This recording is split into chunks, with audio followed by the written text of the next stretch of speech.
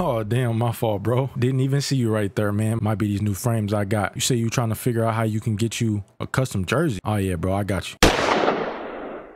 What's good, YouTube? It's your boy Kyle. Welcome back to the channel. In today's video, I'm gonna be showing y'all how you can get your very own custom jersey in NBA 2K23. Now, this is something that I didn't know for quite some time because the place that you have to go to get the custom jersey, I was never really in there. I really only went in there for one thing and I didn't even shop in there. So I'm gonna be showing y'all how y'all can get a custom jersey. If you want to figure out how you can rock your jersey with a shirt underneath, go watch my video. I'll put a pin up above and click that and you can figure out how you can get you a shirt underneath your jersey. But if you want to rock you a tough custom jersey and have your name on the back with your NBA number, I'm about to show you exactly how you could do it right now. So it's one place that you need to go. It's multiple locations for this, but I'm gonna start at the beginning where most people tend to spawn in and show you where you can go from there. So let's go ahead and hop on the train and then head back to the office. More than likely when you load into 2K, you'll be somewhere in this general area unless you switch your spawn location. But if you are in this area, cool, you're even closer to where you need to go. So from this location, you wanna come over here. If you didn't notice, there are stores over here Instead of having to go all the way to the malls, there's a 2K League store right here and there's an NBA store right here. This is where you come to get your custom jersey. I never really paid attention to them having custom jerseys because like I said, I only came in here to get NBA accessories and I was gone. Like I didn't shop for clothes in here.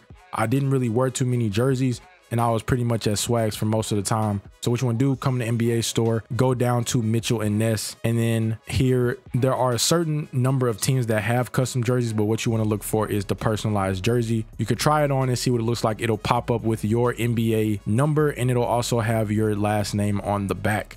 So if you want to get even more creative, you can go in and go into the My Player Builder. You can go in and make a fake build and put whatever you want your jersey to say on the back and put that as your last name and it'll when you come into the NBA store it should have that on there because you can see I put Khi TV as my last name and that is what is on the back of my jersey. So you can get really creative and put you some nice nicknames on the back of your jersey and you can do that by going into the My Player Builder and changing your last name. So that is how you get your custom jersey. Not every single NBA team has personalized jerseys. Most of them do, but not, there are a few that don't have personalized jerseys. The 76ers do, the Bucks do, the Wizards do, a lot of those old school jerseys the Clippers do, of course. I don't think the Spurs does. No, they don't have any, but yeah, you can literally go through and look through all of these teams and see who has personalized jerseys. The Supersonics has one. This will be a nice little fit so you can throw these on with some yellow fives or something. You could pick this one and put some yellow fives on. But yeah man that's how you get your customized jersey. So then you can go into the park looking nice and swaggy and throughout the city man. You see the drip. We got the nice orange custom jersey on with the green and orange sixes. And we got the shades on of course man. But i hope this video was helpful for you. If you didn't know how to get you a custom jersey if it was be sure to like and subscribe to the channel down below.